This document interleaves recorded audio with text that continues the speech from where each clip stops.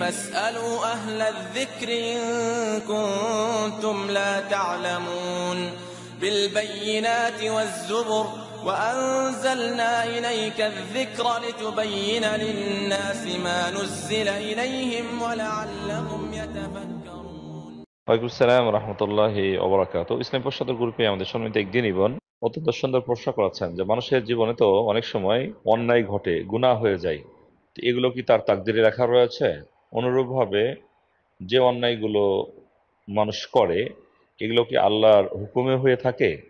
সম্মিলিত দিন ইবন এটি হচ্ছে তাকদিরের প্রশ্ন। আসলে তাকদির সম্পর্কে মানুষরা এইভাবে ভুল করে যে তারা তাকদিরকে সুন্দরভাবে বোঝে না। তাকদির হলো ভাগ্যের লিখন।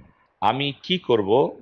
আল্লাহ তাআলা তিনি জানেন, তার এলমের ভিত্তিতে আমার জীবনের বৃত্তান্ত লিখে নিয়েছেন। এটিকে বলা হয় তাকদির। আমি জীবনে ভালো করতে পারি, মন্দও করতে পারি। এটি স্বেচ্ছাধীন হলাম আমি। এজন্য অনেক সময় মানুষ তাকদির না বুঝে আল্লাহকে গালিগালাজ করেন, আল্লাহকে দোষারোপ করেন, যে আমি গুনাহ করেছি না এটা এটা আল্লাহই করিয়েছেন আমাকে। আল্লাহর অর্ডার ছাড়া তো আমি করতে পারিনি অতএব এখানে আমি দোষী নই, আল্লাহ দোষী নওজুবিল্লাহ মিন জালিক আল্লাহ সুবহানাহু ওয়া তাআলা মানুষকে স্বাধীনতা দিয়েছেন। ইন্না হাদাইনা হুসাবিলা ইম্মা শাকির ও ইম্মা কাফুরা। যে আমি সুন্দর পথ দেখিয়েছি, যখন বিবেকবান হয়েছে, তখন আল্লাহ সুবহানাহু ওয়া তাকে বিবেক সম্পন্ন করে সবকিছু বোঝার তৌফিক দিয়েছেন। এরপরে সে ইম্মা শাকির ও ইম্মা কাফুরা, চাই সে শুকুর গুজর করুক, আল্লাহর কৃতজ্ঞতা প্রকাশ করুক, অথবা সে আল্লাহকে না মানুক, আল্লাহর অস্বীকৃতি প্রকাশ করুক, এটি তার বিষয়। যদি ভালো কাজ করে থাকে, তাহলে তার প্রতিদান রয়েছে জান্নাত। আর যদি অন্যায় করে থাকে, তাহলে তার প্রতিদান রয়েছে জাহান্নাম। তাহলে ভালো এবং খারাপ কাজ করার স্বাধীনতা আল্লাহ সুবহানাহু তালা আমাদেরকে দিয়েছেন। তবে আমরা যা কিছু করি আল্লাহ সুফানহতাল্লাহ সব কিছু জানেন। যেগুলো এখনও করিনি, সেগুলোও তিনি জানেন।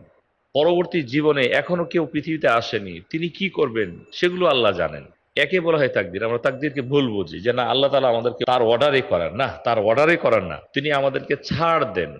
আমি যদি অন্যায় করি, তাহলে আল্লাহর এটি কাজ নয় যে আমাকে জোর করে টান দিয়ে ধরে তিনি অন্যায় থেকে ফিরাবেন। এটি আল্লাহর কাজ নয়। বরং আমাকে স্বাধীনতা দিয়েছেন। আমি ইচ্ছে করলে ভালো কাজ করতে পারি, ইচ্ছে করলে খারাপ কাজ করতে পারি। ভালো কাজ করলে ভালো ফল পাবো, খারাপ কাজ করলে খারাপ ফল পাবো।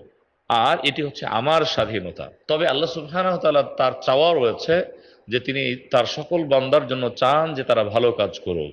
এবং যত অন্যায় রয়েছে, সবগুলো থেকে বিরত থাকুক। এটি কিন্তু আল্লাহর চাওয়া। সম্মিত দিনই বোন এই জন্য তাকদির সম্পর্কে আমাদেরকে সঠিক ধারণা রাখতে হবে। এই জন্য তাকদির সম্পর্কে কিছু এ ধরনের দল রয়েছে যারা ভ্রষ্ট হয়ে গেছে। তারা বলেছে তাকদির বলতে কিছু নাই, যেটি কাদারিয়া দল রয়েছে। অনুরূপভাবে কেউ জাবারিয়া একটা দল রয়েছে যারা পথভ্রষ্ট হয়ে গেছে, তারা বলে থাকে যে সবকিছু আমাদেরকে আল্লাহ তারা বাধ্য করেন। যদি ব্যভিচার করি তবু আল্লাহ আমাকে বাধ্য করেছেন। এই ক্ষেত্রে আমি দোষী নই, আল্লাহ দোষী। নওয়াজুবিল্লাহ মিন জালিক এ ধরনের বলা ঠিক নয়, বরং অন্যায় যেগুলো করি, এগুলো আমাদের স্বাধীনতাতে আমরা করি। ভালো যদি করি, তাহলে আমাদের স্বাধীনতা করি। তবে আল্লাহর এলমে রয়েছে, বিধায় তিনি লিপিবদ্ধ করেছেন। আর আল্লাহর হুকুম ছাড়া হয় না, বিষয়টি এমনটি নয়। হ্যাঁ আল্লাহর অজান্তে হয় না, এটি আমরা বলতে পারি। তবে আল্লাহর হুকুম ছাড়া হয় না যে তুমি খারাপ কাজ করো, যখন তিনি করেন তখন খারাপ কাজ হয়। না, এটি নয়। এটি ঠিক নয়, বরং এটিকে বলা হয়েছে যে আল্লাহ সুবহানাহু ওয়া তাআলা আমাদের পূর্ণ বৃত্তান্ত জানেন। এই জন্য আকাশ এবং জমিন সৃষ্টির পঞ্চাশ হাজার বছর আগেই তিনি সবকিছুকে লিপিবদ্ধ করে ফেলেছেন। এরপরে আবার বিশেষভাবে মায়ের পেটে যখন থাকে, তখন সে কি করবে, না করবে সব কিছু লিপিবদ্ধ হয়। সম্মিত দিনী বোন এই জন্য আমরা এইভাবে বলব যে তাকদীর হলো মানুষের ভাগ্যের লিখন। আল্লাহ তালা জানেন, বিধায় লিখেছেন। তিনি যদি না জানতেন, তাহলে তিনি রবি হতেন না। আর তিনি জেনেছেন, জানেন বিধায় তিনি লিখে ফেলেছেন এই জন্য তিনিও দোষী নন, বরং যিনি কর্তা, যিনি করবেন তিনি দোষী। আল্লাহ তালা আ'লাম।